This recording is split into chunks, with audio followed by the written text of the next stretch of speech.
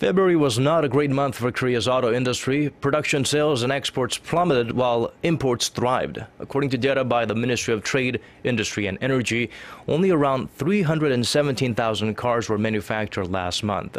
That's a 12% drop from the same month last year. Outbound shipments of Korean automobiles dropped 13.7% to 210,000 in that same period. And while domestic sales of Korean cars dropped 4.1% last month to 1,300, imports of foreign cars increased by 25% to 7,000 units. The ministry attributed the tumble in production and exports to the five-day weekend over the Lunar New Year Seollal holiday.